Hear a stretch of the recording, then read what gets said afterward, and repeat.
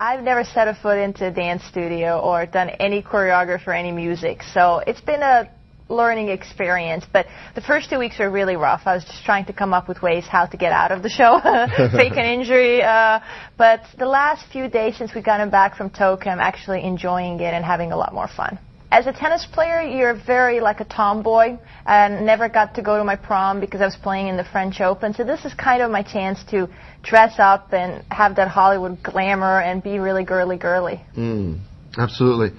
And it's actually my chance too to be girly girly, and uh, it's something I've always wanted. And uh, this is a good forum to talk about it. I want to be girly girly. I usually wear sequins and spandex in my normal life. This is wardrobe given to me by ABC. so I have no problems with sequins and spandex, actually. No, no problems. It's a little itchy on the underwear. You have to wear the sequins on the outside.